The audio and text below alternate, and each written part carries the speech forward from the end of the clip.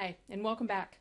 In today's video, I want to walk through how companies can prepay expenses. For example, a company can decide um, to pay car insurance, let's say. Let's say they have a fleet of vehicles and they want to prepay that insurance at the beginning of the year.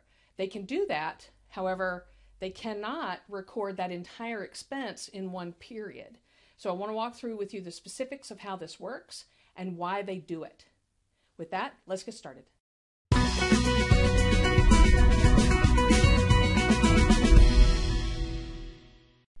Okay, hello, welcome back. In this video, we're going to talk about prepaid expenses. So, a company can decide to pay for, let's say, insurance on a yearly or semi annual basis. Uh, so as individuals, we tend to see that we pay expenses on a monthly basis. like when I get my car insurance, I don't typically pay for that a year up front or six months up front. I pay it on a monthly basis. But a company or an individual could decide that they want to prepay it. And however, even if we were to do that, in keeping a set of books and doing accrual accounting, we have to recognize one month of expense at a time, even if we prepay it. So let's see how this will work. A company decides to prepay a $24,000 insurance bill for the entire year at the beginning of the year. A financial event has absolutely taken place. And what accounts do we use? We will use prepaid insurance and cash. Do we have more or less of prepaid insurance? We have more of it. Do we have more or less of cash? We have less. So let's check uh, the logic of our journal entry. So for the cash account, we will credit it for $24,000 because we now have less cash. We've actually paid a bill, so $24,000 has gone out the door, and so we will credit that because its normal balance is a debit, and in order to decrease it, we credit it.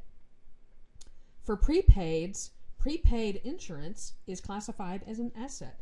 So its normal balance is a debit. So to increase it and add more to it, we have a $24,000 debit. So we have $24,000 debit to prepaid insurance, and we have $24,000 credit to cash. So we balance. Now, at the end of the period, what is the adjustment that we have to make for prepaid insurance? The financial event has taken place, absolutely. And what accounts do we use? We will use prepaid insurance and we will use insurance expense. Do we have more or less of prepaid insurance? We're now going to start decreasing that balance in our prepaid insurance. And do we have more or less of insurance expense? We have more. So let's check our logic. $24,000 over 12 months is going to be $2,000 per month that we re- need to recognize as insurance expense. So, well, how do we do this? So, the insurance expense is an expense, classified as an expense, and its normal balance is a debit. So, to have more insurance expense, we would debit that account for $2,000, just the amount of the monthly charge. Then, our prepaid insurance, since it's an asset, normal balance of a debit, in order to start decreasing it or have less in that account, we would credit it for the $2,000. So our journal entry, we have $2 debit to insurance expense and $2,000 credit to prepaid insurance. So at the end of this month, this very first month, in our prepaid insurance account, we will have had that original $24,000 in there Plus, we're going to have a $2,000 credit.